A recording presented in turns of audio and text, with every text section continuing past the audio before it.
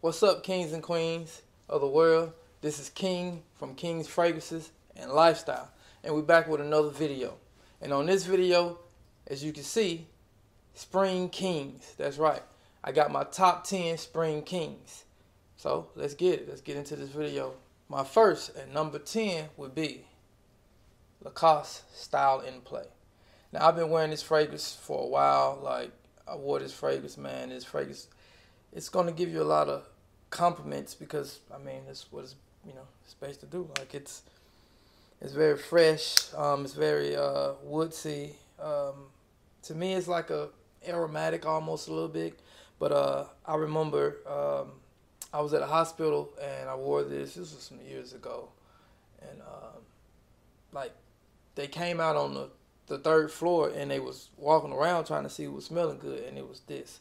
So this is my number 10. You see it? Look at that alligator, man. That's what costs, you know what I'm saying? You know what that means. Check it out. Now we're finna get to the number 9. Number 9, Spring King of 2021, in my opinion, is none other than Burberry Touch.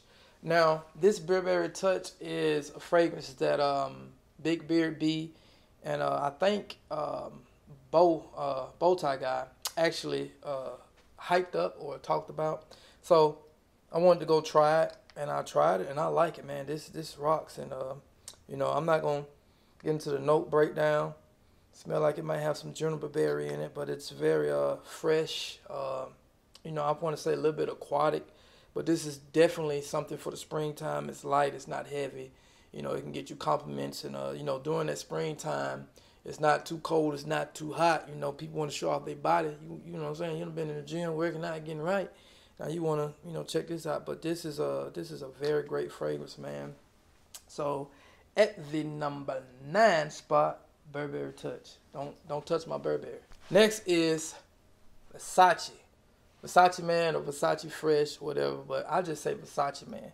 And this is the number eighth spot on my list. So um, I've been wearing this fragrance for about how long I've been wearing it?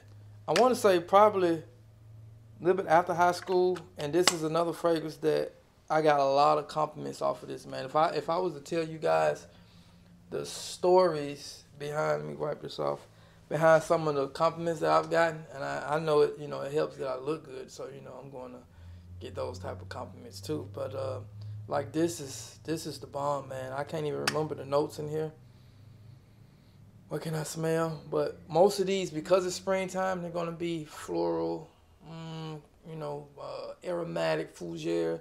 Because it is springtime, you're gonna smell some um, citrus in here.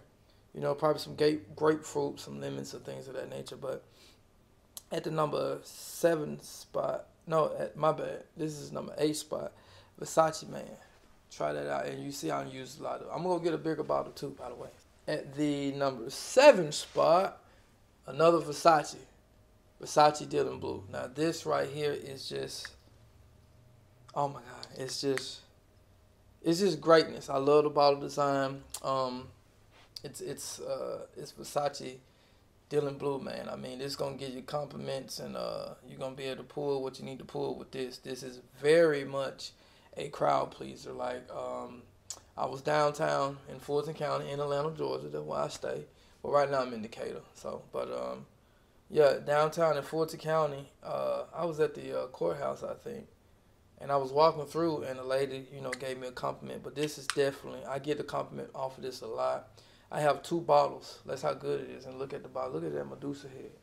Medusa, Versace, Versace. Now, at the sixth spot, Terre Hermes by Hermes.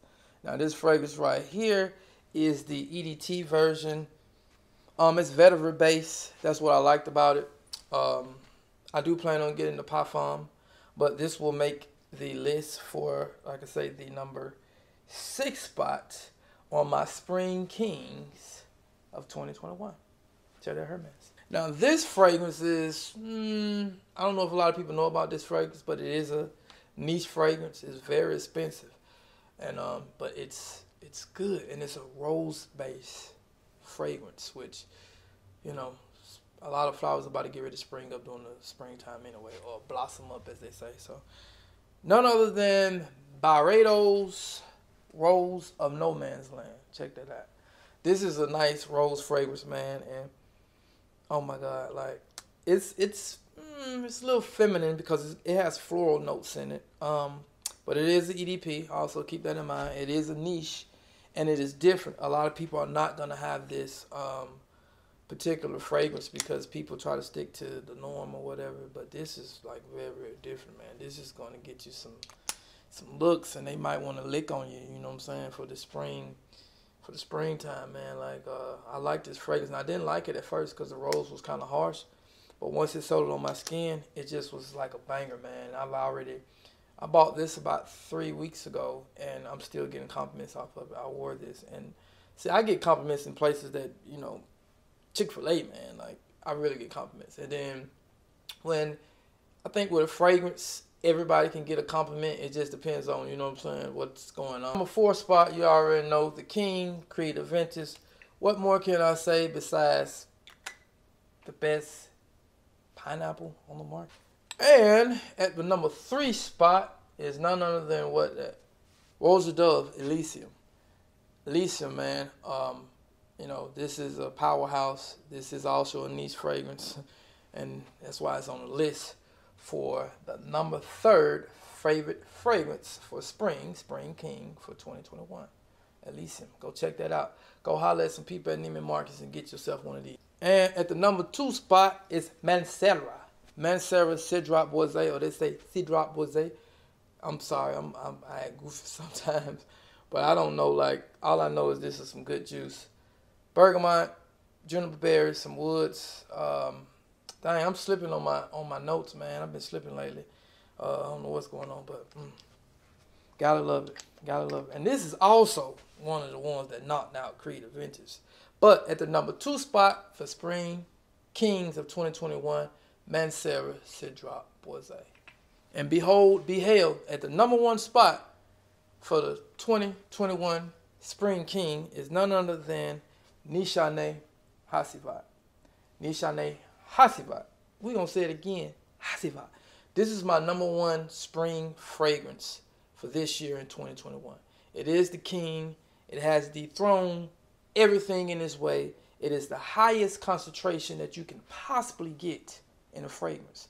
And this is absolute gorgeous. This is elegant. This is what they consider a masterpiece. And this right here will get you more than compliments, but this will get you laid. So I'm just playing, but it will get you laid. So um, that was my list. We're gonna stay tuned for the next video. Other than that, remember always energy is everything. Keep your energy high and your vibration high. Stay positive. Love, live life.